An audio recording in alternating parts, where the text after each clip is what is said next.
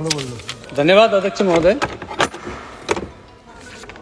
ये bangle division के ऊपर आज ये जो बिल बिल ने रेजोल्यूशन आया है, इसमें मैं सबसे पहले तो कुछ देर पहले हमारे माननीय सदस्य श्री शवनदेव जी ने जो हमें इन्फ्लक्स कहा गोरखाओं को, इसका मैं इस सदन में खंडन करता हूँ। सुगौली संधि के वजह से जो भूमि के साथ हम यहाँ आए, हमारी मिट्टी आपकी होती है और हम इन्फ्लक्स होते हैं, इस चीज़ की मैं निंदा करता हूँ।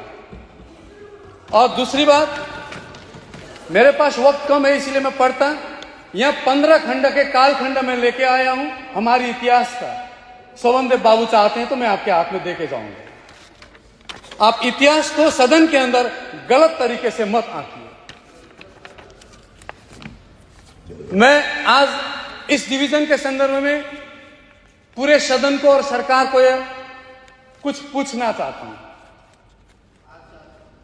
19 सितंबर 2023 टीएमसी अलायंस भारतीय गोरखा प्रजातांत्रिक मोर्चा के अनित थापा ने गोरखालैंड के नाम पर चुनाव जीता, जीटीए चुनाव, और उसने 19 सितंबर को जीटीए सभा में गोरखालैंड का प्रस्ताव ले आया।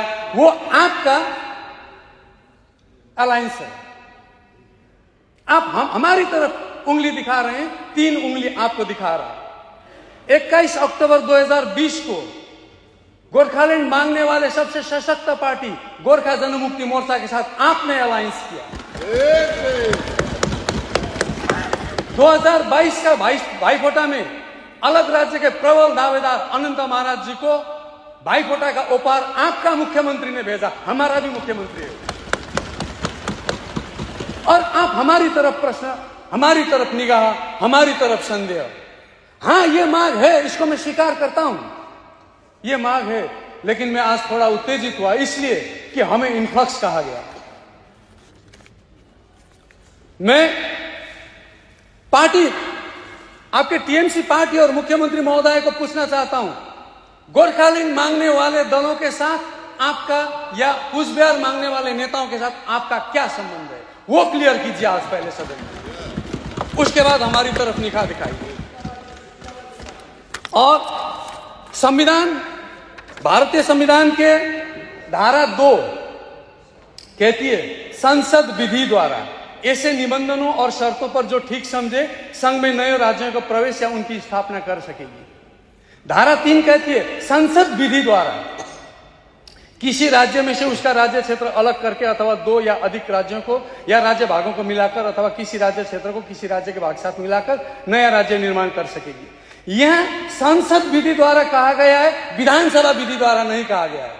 इसीलिए ये जो प्रस्ताव विधानसभा में आया है, ये इंडियन कॉन्स्टिट्यूशन के अगेंस्ट में है। ये यहाँ नहीं आना चाहिए। ये सेंट्रल सब्जेक्ट है ये स्टेट सब्जेक्ट नहीं है और आ, हमारी मुख्यमंत्री बार बार कहती है कि ये दिल्ली की सब्जेक्ट है। लेकिन आज आप ही के पार्टी ने यहाँ लाया। हाँ अब ये डिमांड क्यों उठता है? इसके पीछे जो ऐतिहासिक कारण है भौगोलिक कारण है आर्थिक सांस्कृतिक बहुत सारा कारण है। ये पूरा क्षेत्र जिस क्षेत्र में डिमांड उठ रहा है ये इंटरनल कॉलोनियलिज्म की शिकार रहा है। इतिहास को ध्यान में रखकर उन्नीस सौ सतासी में पश्चिम बंगाल सरकार ने गोरखालीन एजुटेशन द इश्यूज़ नाम में एक व्हाइट पेपर निकाला, जिसके पृष्ठ पर लिखा था in other words the present territory of Darjeeling historically belong to Sikkim and Bhutan and were included in India following wars and agreement with these two countries only the Terai part of the territory was for a time conquered by Nepal from Sikkim but was then return to Sikkim in eighteen इसी तरह coach Bihar राज्य भी स्वाधीनता के बाद Indian independence के बाद 1949 में भारत में शामिल किया गया। दार्जिलिंग 1956 में the absorbed areas laws act 1954 के तहत बंगाल में शामिल किया गया। इसीलिए ये इतिहास के आधार पर जन्मा हुआ जन आवाज़ है। अध्यक्ष महोदय, मैं मैं जिस क्षेत्र से निर्वाचित होकर यहाँ आया हूँ, इस सदन में आया हूँ, वहाँ के लोगों ने, हाँ, मैं स्वीकार करता हूँ, मुझे केवल और केवल गोरखालैंड के लिए मैंडेट दिया है। और मैंने इसीलिए आज तक विधानसभा के अंदर और विधानसभा के बाहर जितना भी बयान दिया है, वो सिर्फ़ मेरा बयान नहीं है, जनता द्वारा मुझे दिया गया मैंडेट का आवाज़ है। इसीलिए इस मैंडेट को समझने का ज़रूरत है। और इसके लिए मैं आज सदन को एक आग्रह करूँगा इस विषय पर बीजेपी की क्या मंशाएँ है? इस विषय पर टीएमसी का क्या मंशा है? यह महत्वपूर्ण प्रश्न नहीं है, अध्यक्ष महोदय। महत्वपूर्ण प्रश्न यह है कि इस क्षेत्र के अधिकांश जनता का मनसा क्या है? उनकी चॉइस क्या है? यह हमारी चॉइस की बात नहीं है, जनता की चॉइस की बात है। इसीलिए अगर राज्य सरकार क्लीन राजनीति करना चाहती है तो मैं सलाह देता हूँ विधानसभा में इस तरह की बिल लाने से अच्छा हमारे वहाँ के लोग क्या जानना चाहते हैं, क्या चाहते हैं? इसके लिए ये बिल नहीं, ये रेजोल्यूशन सॉरी ये रेजोल्यूशन लाने के, मैं सलाह देता हूँ कि विधानसभा में इस तरह का रेजोल्यूशन लाने से अच्छा। वहाँ के लोग क्या चाहते हैं, इसे जानना चाहते हैं तो आप चुनाव आयोग के माध्यम से उस पूरे क्षेत्र में रेफरेंडम करवाइए। करवाइए रेफरेंडम यह लोकतांत्रिक पद्धति है। लोकतंत्र की नींव को मज़बूत कीजिए। मज़बूत कीजिए। अगर इस क्षेत्र के राजवंशी, गोरखा मेच आदिवासी, टोटो, रावा, लेप्चा, भुटिया, डुक्पा जैसे यहाँ के एथनिक कम्युनिटी की भाषा, साहित्य, संस्कार, संस्कृति रहन सहन वेशभूषा सभी विलुप्ति के कगार पर है आज। बहुसंख्यक औपनिवेशिक चरित्र की वजह से यह पूरा क्षेत्र पॉलिटिकली इम्बैलेंस है, अध्यक्ष महोदय।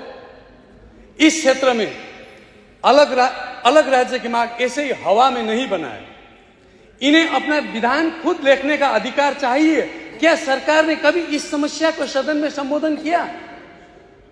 मैं फिर भी सदन को आग्रह करता हूँ कि आप चुनाव आयोग के माध्यम से रेफरेंडम करवाइए तब आपको पता चलेगा वहाँ के लोग क्या चाहते हैं ये बीजेपी की क्या मंशा है टीएमसी की क्या मंशा है इसकी कोई ज़रूरत नहीं रहेगी।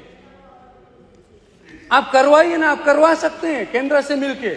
यहाँ ये समस्या है, हम दो मिलकर देखिए, आपने मैं, जब उन्होंने प्रश्न किया तो मैं थोड़ा समय लूँगा।